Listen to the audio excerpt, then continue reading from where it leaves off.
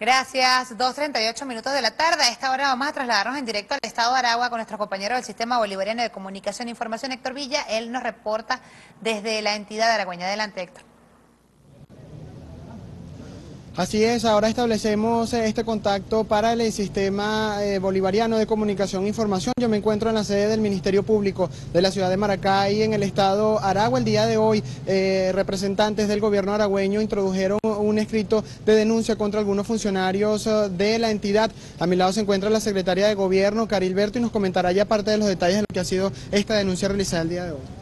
Sí, muy buenas tardes. Efectivamente nos encontramos en la sede del Ministerio Público ubicado en Maracay, Estado Aragua, para cocinar escrito denuncia en contra del ciudadano Gerardo Aquiles Isea Romero, hermano del exgobernador del Estado Aragua, eh, precisamente cumpliendo instrucciones de nuestro presidente de la República Bolivariana de Venezuela y del gobernador Tarek El Aizami, justamente en contra de la lucha que tenemos contra la corrupción.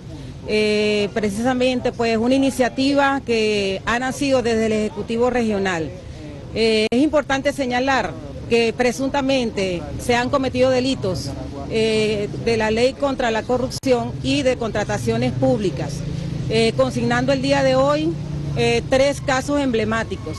Uno que tiene que ver con una negociación Bandes-Minarza, otra de una obra también ejecutada por Minarza y una tercera también de unas negociaciones que evidentemente pues podemos decir que presuntamente se han cometido estos delitos. Cabe destacar que a través de Bandes Minarza eh, bueno, en, los tres casos resumidos eh, podemos anunciar que hubo una erogación de 59 millones de dólares y 9 millones de euros, eh, pudiéndolos destacar en, la siguiente, en, la, en el siguiente orden. Uno de los casos denunciados se trata de una negociación realizada por el orden de los 67 millones de bolívares a través de la aprobación de un crédito de bandeja Minarza que nunca fue registrado en su contabilidad y por el cual se adquirió maquinaria completamente deteriorada a través de su Praragua, traducido en divisas por un monto aproximado de 12 millones de dólares. El segundo es un caso según el cual presuntamente se pagó sin contrato el anticipo de una obra cuyo eh, monto aproximado era de 398 mil bolívares para la rehabilitación de un ambulatorio en Carmen de Cura al margen de la ley de las contrataciones públicas. Y el tercer caso es un caso que llama mucho la atención en el sentido de que la empresa Minarza se ve inmersa en unas compras de 50 autobuses chinos por un monto de 14 millones de dólares, un precalentador de planta de carbonato por 2.800.000 dólares a través de su Pradagua, excediéndose en su capacidad financiera. Por otra parte, a través de una empresa mixta donde la mayoría de las acciones pertenecen a Minarza, se compró una planta procesadora para la obtención de carbonato de calcio por 8.400.000 euros, equipos complementarios para dicha planta por 1.400.000 euros y de una planta para fabricación de prefabricados de concreto por 31 millones de dólares, igualmente excediéndose en la capacidad financiera de dicha empresa.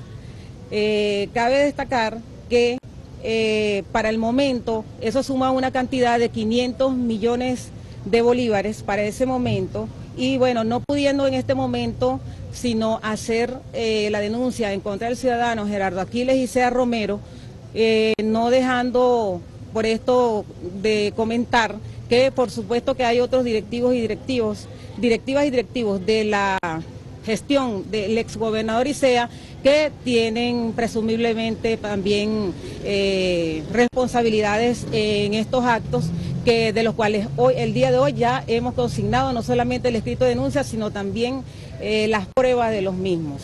Eh, ya al momento pues no eh, no puedo dar más nombres al momento por cuanto saben pues que pudiera entorpecer el término de las investigaciones, pero por el monto de, estos hechos estamos pidiendo a la fiscal general de la República designe, eh, a, la Fiscalía General de la República designe un, mm, un fiscal nacional, con, un, fiscal con competencia nacional para que se hagan las averiguaciones del caso.